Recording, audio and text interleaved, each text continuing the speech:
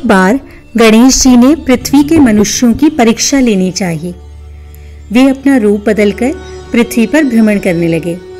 उन्होंने एक बालक का रूप बना लिया और एक हाथ में एक चम्मच में दूध ले लिया और दूसरे हाथ में एक चुप्पी चावल ले लिए और गली गली घूमने लगे और साथ में ही आवाज़ लगाते रहे, कोई मेरी खीर बना दे, कोई मेरी खीर बना दे। उनकी बात पर किसी ने ध्यान ही नहीं दिया। बल्कि लोग उन पर हंस रहे थे। वे लगातार एक गाँव के बाद दूसरे गाँव में इसी तरह चक्कर लगाते रहे और पुकारते रहे। पर कोई खीर बनाने के लिए तैयार नहीं हुआ। सुबह से शाम हो गई और गणेश जी लगातार घूमते रहे। तभी वहाँ पर उन्होंने एक बुढ़िया को देखा, जो कि शाम के वक्त अपनी झोंपड़ी के बाहर बैठी हुई थी। वहाँ से भी गणेश जी यही पुकारते हुए निकले कि कोई मेरी खीर बना दे बुढ़िया बहुत कोमल हृदय वाली स्त्री थी। उसने कहा, ला बेटा, मैं तेरे लिए खीर बना देती हूँ।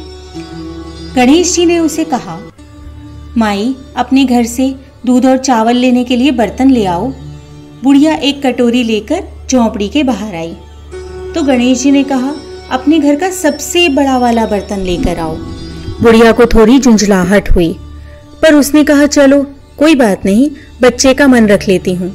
और अंदर जाकर वह अपने घर से एक बड़ा सा पतीला ले आई। गणेश जी ने चम्मच से दूध पतीले में उड़ेलना शुरू किया तो बुढ़िया के आश्चर्य की सीमा नहीं रही। उसने देखा, दूध से पूरा पतीला भर गया है। एक के बाद एक बर्तन झोंपड़ी से बाहर लाती रही और उसमें गणेश जी दूध भरते रहे। इस तरह से घर के सारे बर्तन दूध से लबालब भर गए। भगवान गणेश ने बुढ़िया से कहा, मैं स्नान करके आता हूँ। तब तक तुम मेरी खीर बना दो और मैं वापस आकर खाऊँगा। बुढ़िया ने पूछा, मैं इतनी सारी खीर का क्या करूँगी? इस पर गणपति बोले, सारे गाँव को दावत दे दो। बुढ़िया ने बड़े प्यार से मन लगाकर खीर बनाई। खीर की भीनी भीनी मीठी मीठी खुशबू चारों दिशाओं में फैलने लगी। खीर बनाने के बाद बुढ़िया हर घर में जाकर खीर खाने के लिए दावत का न्योता देने लगी। लोग उस पर हंस रहे थे कि बुढ़िया के घर में खाने के लिए दाना नहीं है और सारे गाँव को खीर खाने की दावत दे रही है। लोगों को कुतूहल हुआ। खीर की खुशबू से लोग खिंचे चले आए। लो, अब तो सारा गाँव बुढ़िया के घर में इकट्ठा हो गया। जब बुढ़िया की बहू ने दावत की बात सुनी तो वह सबसे पहले वहाँ पहुँच गई। उसने खीर से भरे हुए पतीलों को जब देखा तो उसके मुँह में पानी भर आया। उसे बड़ी ज़ोर की भूख भी लगी थी। उसने एक कटोरी खीर निकाली और दरवाजे के पीछे बैठकर खाने की तैयारी करने लगी। इसी बीच एक छींटा नीचे ज़मीन पर गिर गया और गणपति जी को भोग लग गया और वो प्रसन्न हो गए। अब पूरे गाँव को खाने की दावत देकर बुढ़िया वापस अपने घर आई तो देखा कि बालक वापस आ गया है। बुढ़िया ने कहा, बेटा, खीर तैयार है, आओ भोग लगा लो। गणपति जी बोले, माई, मेरा भोग तो लग गया है, मेरा पेट पूरी तरह से भर गया है, मैं तृप्त हूँ। अब खीर को तू खा, अपने परिवार को खिला, अपने गाँव वालों को खिला। बुढ़िया ने कहा यह तो बहुत ज़्यादा है, सबका पेट भर जाएगा, तब भी खीर बच जाएगी। इस बची हुई खीर का मैं क्या करूँगी? इस पर गणेश जी बोले उस बची हुई खीर को रात में अपने घर के चारों कोनों में रख देना। बुढ़िया ने ऐसा ही किया। जब सारा गाँव जी भरकर खा चुका, तब भी ढेर सारी खीर बच गई। उसने उसके पात्रों को अपने घर के चारों कोनों में रख दिया। सुबह उठकर उसने क्या देखा कि पतीलों में खीर के स्थान पर हीरे जवाहरात और मोती भर गए हैं। वह बहुत खुश हुई। उसकी सारी दरिद्रता दूर हो गई थी। अब वह आराम से रहने लगी। उसने गणपति जी का एक भव्य मंदिर बनवाया और साथ में एक बड़ा सा तालाब भी बनवाया। इससे उसकी प्रसिद्धि चारों तरफ़ फैलने लगी। उस जगह वार्षिक मेले लगने लगे। लोग गणेश जी की कृपा प्राप्त करने के लिए उस स्थान पर आते, पूजा करते और मान्यताएँ मानने लगे। गणेश जी सबकी मनोकामनाओं को पूर्ण करने लगे।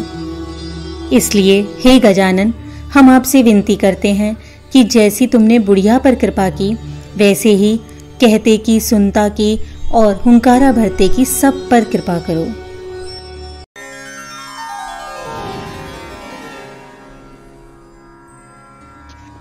एक जाट था और एक भाट था।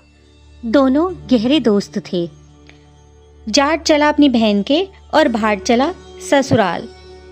रास्ते में कुएँ की पाल पर दोनों बैठ गए। जाट बोला, नगर बसेरा कर लें। भाट बोला, मैं तो अपनी ससुराल जा रहा हूँ, खूब खातिर होगी, सो तू ही कर। जाट कुएँ की पाल पर बैठकर पानी की घंटी और चावल का दाना लेकर नगर बसेरा करने लगा और बोला, नगर बसेरा जो करे सोमल धोवे पाम। ताता मांडा तापसी, देगी मेरी माँ। माँ देगी मावसी, देखी द्वार कवास। मीठा मीठा ग्रास, वृंदावन का वास। पाँच कुल्ठी छठी रास, मेरा जिवड़ो श्री कृष्ण के पास। डालू पानी हो जाए घी झट से निकल जाए मेरा जी। कर करा के चल पड़ा। भाट की बहन ने बुरा चावल जिमाकर खूब खातिरदारी की। भाट पहुँचा तो ससुराल में आग लगी पाई। आग बुझाते बुझाते, राख उठाते उठाते, हाथ भी काला, मुँह भी काला और रोटी न पानी। पड़ोसन आई। बोली जवाई आया है। उसकी भी पूछ कर लो। सास बोली, क्या करूँ? मेरा तापड़ा भूपता चला गया। पड़ोसन ने एक रोटी और छाछ दी और उसने खा ली शाम को दोनों दोस्त फिर मिले। भाट बोला, मेरे ससुराल में आग लगी पाई। बुझाते बुझाते हाथ भी काला, मुँह भी काला, रोटी न पानी। जाट बोला, मेरी तो खूब खातिर हुई। मैंने कही थी न, नगर बसेरा कर ले। जाट बोला, आ, अब कर लें। भाट बोला, अब भी ना करूँ। तेरी मौसी है। पता नहीं रोटी दे या न दे। मेरी तो माँ है। दही की छूछली, चूरमा की पेड़ी, धरी पावेगी। भाट ने नगर बसेरा नहीं किया। जाट फिर से नगर बसेरा करने बैठ गया। नगर बसेरा सो करे सोमल धोवे पाँव। ताता मांडा तापसी, देगी मेरी माँ। माँ देगी मावसी, देगी द्वार कवास। मीठा मीठा ग्रास, वृंदावन का वास। पाँच कुल्ठी छठी रास, मेरा जेवड़ा श्री कृष्ण के पास। डालू पानी हो जाए घी, झट से निकल जाए मेरा जी। इतना कहकर वह चल पड़ा। घर पहुँचते ही जाट की मासी ने बहुत लाड़ चाव किया। भाट घर आया तो उसकी भैंस खो गई। बाप एक लाठी धरे, एक उठावे। बोला, ससुराल गया था तो आग लगा दी, यहाँ आया तो भैंस खो दी। पहले भैंस खोज कर ला, तभी रोटी पानी मिलेगी। सारा दिन हो गया ढूंढते ढूंढते पर भैंस नहीं मिली। बाज़ार में फिर दोनों मिले। तो जाट ने पूछा, क्या खबर है? भाट बोला आते ही मेरे बाप की भैंस खो गई। उसे दिन भर से ढूंढ रहा हूँ। रोटियों का ठिकाना नहीं। जाट बोला, मैंने पहले ही कहा था, नगर बसेरा कर ले। भाट बोला, तेरे नगर बसेरे में इतने गुण हैं तो आप कर ले। दोनों नगर बसेरा करने बैठ गए। नगर बसेरा जो करे, सोमल धोवे पाम। ताता माणा तापसी, देगी मेरी माँ। माँ देगी मावसी, देगी द्वार कवास मीठा मीठा ग्रास, वृंदावन का वास, पाँच कुल्ठी छठी रास। मेरा जेवड़ा श्री कृष्ण के पास। डालू पानी हो जाए घी, झट से निकल जाए मेरा जी। उसने नगर बसेरा किया और तो आगे चला तो रास्ते में भैंस मिल गई। वह भैंस को लेकर घर चला गया। माँ बोली, लड़के को आते ही निकाल दिया, सारा दिन हो गया भूखे मरते। उसको भूख लगी होगी। अच्छी तरह से जिमाया। उन्होंने सारी नगरी में ढिंडोरा पिटवा दिया कि हर कोई कार्तिक में और पीहर सासरे में आते जाते नगर बासरा करे। इसी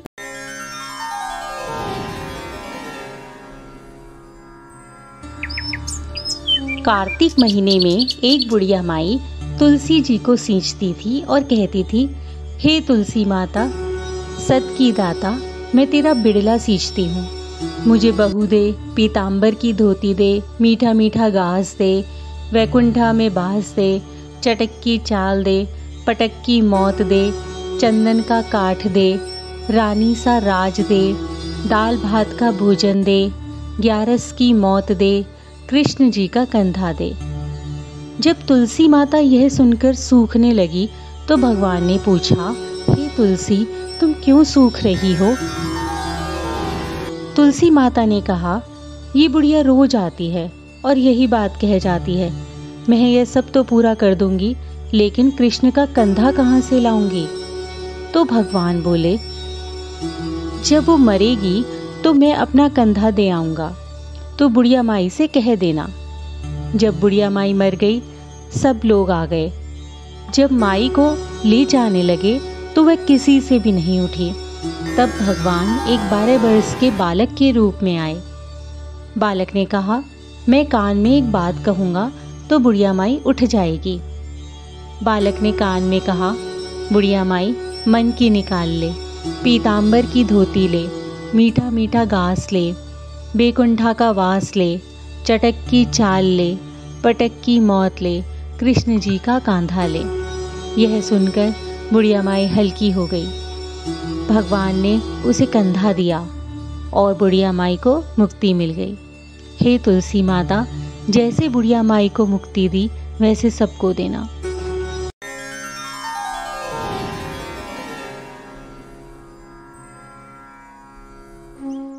पीपल पथवारी की कहानी। एक समय की बात है, एक गाँव में एक गुजरी रहती थी। उसने अपनी बहू से कहा, कल से तू दूध दही बेच आया कर। तो वह दूध दही बेचने चल दी। कार्तिक माह में सभी औरतें पीपल सींचने आती थीं। तो वह भी वहाँ पर बैठ गई और उनसे पूछने लगी कि तुम ये क्या कर रही हो? तो उनमें से एक औरत बोली, हम तो पीपल की पथवारी सींच रहे हैं। तो बहू ने पूछा, इससे क्या होता है? तो औरतों ने जवाब दिया कि इसको करने से अन्य धन मिलता है, बरसों का बिछड़ा हुआ पति मिलता है। उस गुजरी ने कहा अच्छा ऐसा है? उसने मन ही मन सोचा, तुम सब तो पानी से सींच रहे हो, मैं पीपल को रोज दूध दही से सींचूँगी। उसकी सास रोज कहती कि, जा दूध दही बेच कर आ और लाकर मुझे पैसे दे देना। तो उसने कहा, जब कार्तिक का महीना पूरा हो जाएगा, तब एक साथ लाकर दे दूँगी। कार्तिक का महीना पूरा हो गया। पूर्णमासी के दिन गुजरी पीपल पथवारी के पास धरना देकर बैठ गई। पीपल महाराज ने पूछा, तू यहाँ क्यों बैठी हैरी तो उसने कहा, आज पूर्णमासी है, कार्तिक मास का अंतिम दिन। मेरी सास दूध दही का हिसाब मांगेगी। लेकिन मैंने तो पूरे महा दूध दही तुम पर चढ़ा दिया है। अब मैं घर जाऊँगी तो माता जी को हिसाब कैसे दे पाऊँगी? पीपल ने कहा अच्छा मेरे पास पैसे तो नहीं हैं। ये पत्थर, डंडे और पान के पत्ते पड़े हुए हैं। ये सब ले जा और गुल्लक में रख देना। बहू ने ऐसा ही किया। और जब सास ने पूछा, हिसाब कर लाई? तो गुजरी ने कहा हाँ हिसाब कर लाई माँ जी और मैंने पैसे गुल्लक में रख दिए हैं। तब सास ने गुल्लक खोलकर देखी तो सास देखती रह गई। उसमें हीरे मोती जगमगा रहे थे। पत्थर, डंडे और पत्तों का धन बन गया था। सासू माँ बोली, बहू, चोरी की या डाका डाला? बता, इतना पैसा कहाँ से लाई? तो बहू ने आकर देखा कि वहाँ तो बहुत सारा धन है।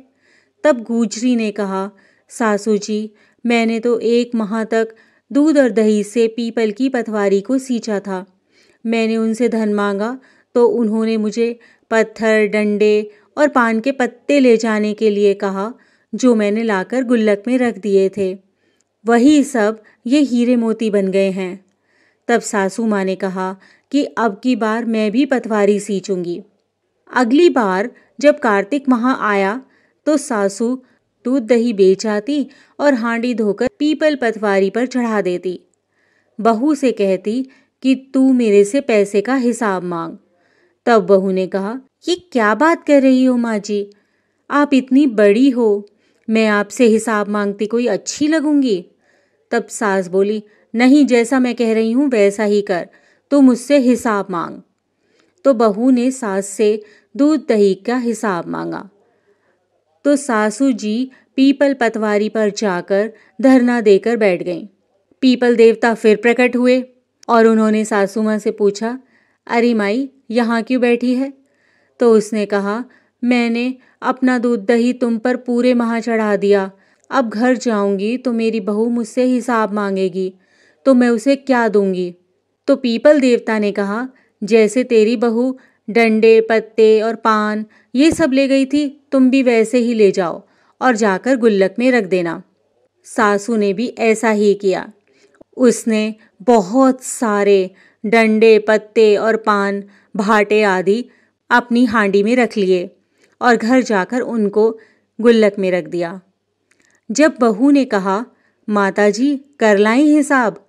तो उसने कहा हाँ कर लाई। जो भी मिला सब गुल्लक में रख दिया है। तू खोलकर देख ले। बहू ने गुल्लक को खोलकर देखा तो उसमें कीड़े मकोड़े चल रहे थे। गुजरी चिल्लाई और सासू से कहा, ये सब क्या है? तो सास देखकर बोली कि पीपल पथवारी ने मेरे साथ दुहात किया है। तुझे तो अन्न और धन दिया और मुझे कीड़े मकोड़े दिए। तब वे सब बोले, बहू तो सत से सींचती थी और सासू जी धन की भूख से सींचती थी। इसलिए, हे पथवारी माता, जैसे तूने बहू को दिया, ऐसे सबको देना, और जैसा सासू जी को दिया, वैसा किसी को मत देना, सबका भला करना।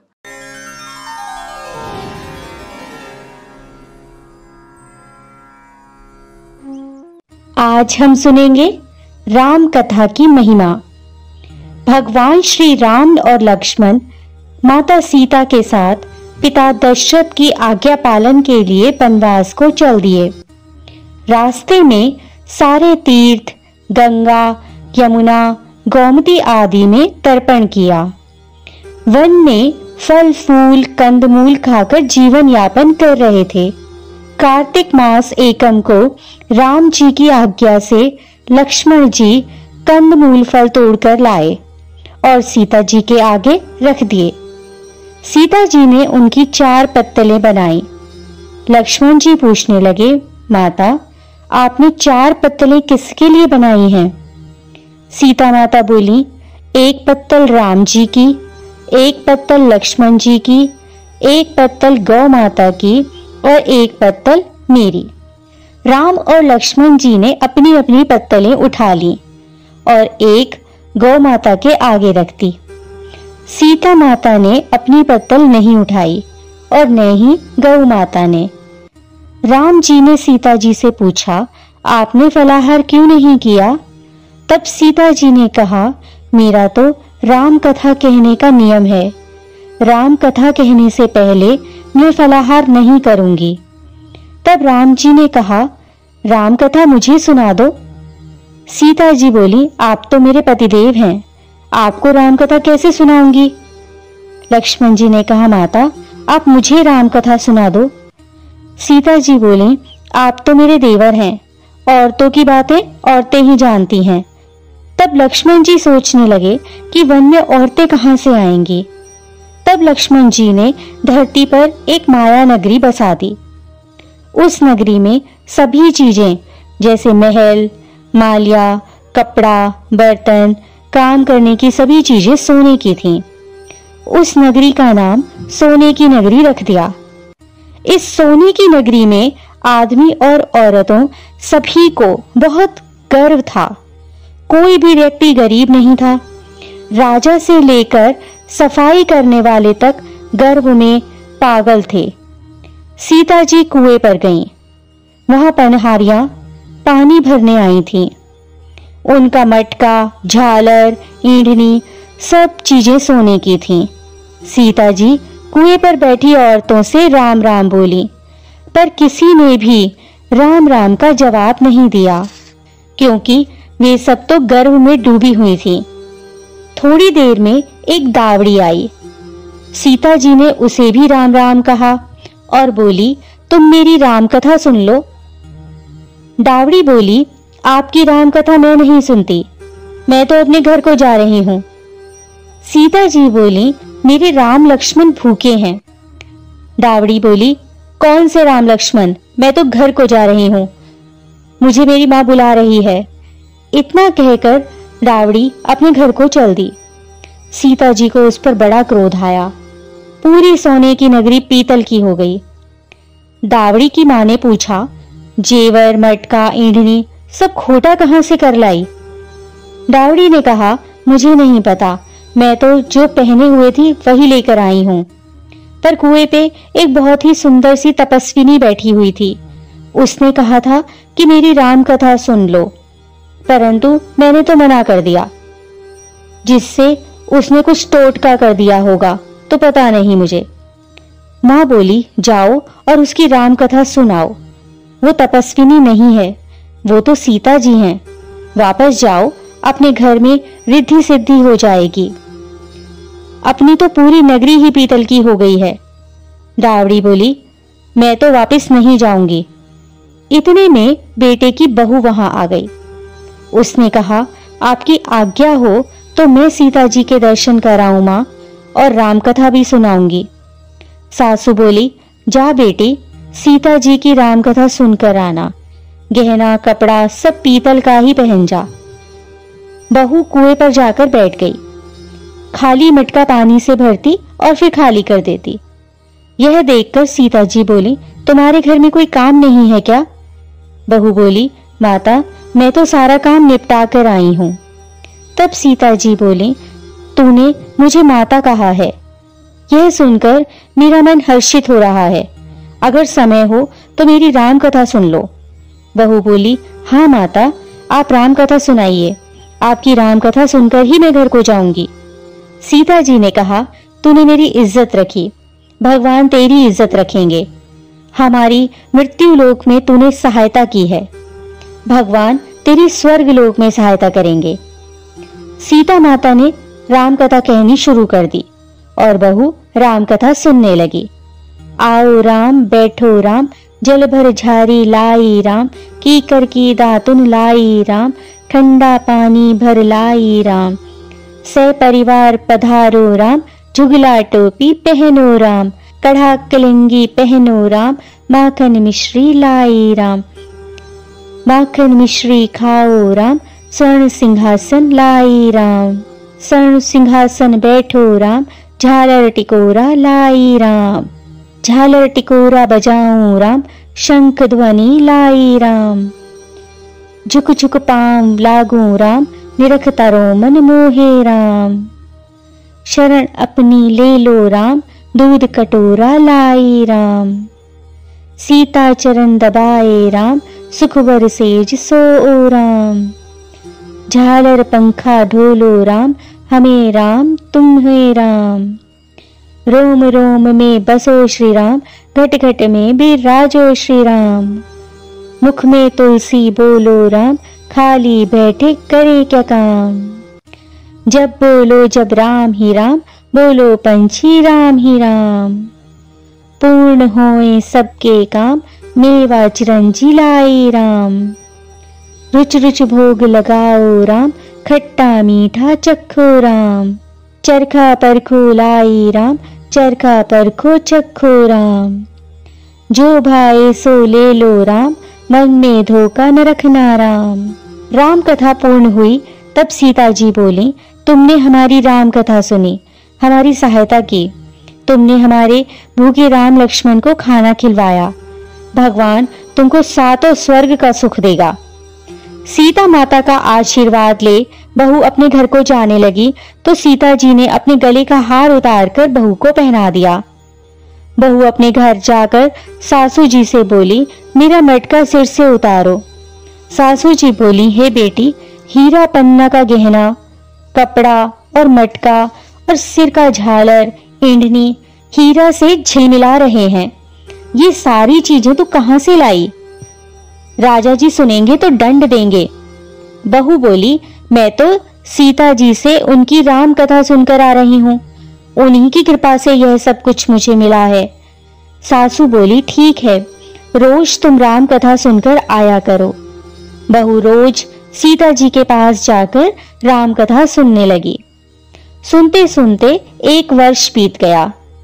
तब बहू ने कहा, माता, कहानी का उद्यापन बताओ। सीता जी बोली, सात लड्डू एक नारियल लेना और उसके सात भाग करना। एक भाग मंदिर में चढ़ाना। मंदिर बनाने के जितना फल मिलेगा। एक भाग तालाब में चढ़ाने से तालाब खुदवाने जितना धर्म होगा। एक भाग भागवत पर चढ़ाना, उससे भागवत सुनने का फल मिलेगा। एक भाग तुलसी पर चढ़ाने से तुलसी की शादी करने जितना फल मिलेगा। एक भाग कुआरी कन्या को देने से कन्यादान करने का फल मिलेगा। एक भाग ब्राह्मण को देने से ब्राह्मण को खाना खिलाने जितना फल मिलेगा। और एक अंतिम भाग सूर्य भगवान को चढ़ाना, उससे तैतीस करोड़ देवी देवताओं को भोग लगाने जितना फल मिलेगा। बहु जल्दी जल्दी घर आ गई। सात लड्डू और एक नारियल लाई। उसने उसके सात बराबर भाग किए। एक भाग मंदिर में, एक भाग तालाब में, एक भाग बागवत में, एक तुलसी में एक कन्या को, एक ब्राह्मण को और एक सूर्य भगवान को चढ़ा दिया। सूर्य भगवान को चढ़ाने से तैतीस करोड़ देवी देवताओं ने भोग लगा लिया। अब बहू फिर सीता जी के पास आई और बोली, माता, मैंने सबका उद्यापन कर दिया है। सीता जी बोली अच्छा बहू, अब बैठ जाओ। सात दिनों बाद वैकुंठ धाम से विमान आएगा। सो, सात दिनों के बाद वैकुंठ धाम से विमान रिमझिम रिमझिम करता हुआ आया। बहू बोली सासू जी विमान आया है, आप भी चलो। सासू जी बोली, बहू, मैं अकेली कैसे जाऊँ? अपने ससुर जी को भी ले चल। अपने माता पिता को भी ले लो। भाई, बंधु, कुटुंब कबीलों को सभी को ले लो। अड़ोसी पड़ोसियों को भी लो। बहू ने सबको विमान में बिठा लिया। विमान फिर भी खाली रहा। इतने में नंदरानी आई और बोली, भाभी, मुझे भी विमान में बिठा लो। माता ने देखा, विमान में जगह ही नहीं है। बहू सीता जी से बोली, माता, हमारी नंद को भी बिठाओ। सीता जी बोली, तुम्हारी नंद घमंड से भरी हुई है और हमारा विमान कच्चे धागे से बना हुआ है। वह टूट जाएगा। नंद बोली भाभी, मैं यहाँ अकेली कैसे रहूँगी? मुझे सांप बिच्छू खा जाएँगे। भाभी बोली, अपनी करनी आप ही भोगो। हम अपनी करनी से सीता माता के साथ जा रहे हैं। इतने में बहू अपने पति के साथ विमान में विराजमान हो गई। यह देखकर नगर के सभी लोग इकट्ठे हो गए और पूछने लगे, बहू, तुमने ऐसा कौन सा धर्म का कार्य किया जो सब लोग सीता जी के साथ विमान में बैठकर वैकुंठ धाम जा रहे हो। आपने रामायण का पाठ किया, गीता का पाठ किया या कोई और अखंड पुण्य किया है, जिससे स्वर्ग से विमान लेने आया है? बहू बोली, मैंने तो केवल सीता माता से राम कथा सुनी थी और उसका उद्यापन किया था। नगरी के लोग कहने लगे, बहू, हमें भी राम कथा सुनाओ। बहू ने सबको राम कथा सुनाई। राम कथा संपूर्ण होते ही पूरी नगरी सोने की हो गई। सभी देवी देवता सीता माता की जय जयकार करने लगे। इसी प्रकार की अन्य व्रत एवं पौराणिक कथा कहानियों के लिए हमारे चैनल को सब्सक्राइब और शेयर करें, ताकि आप भी दूसरों तक इन्हें पहुंचाकर धर्म लाभ प्राप्त कर सकें।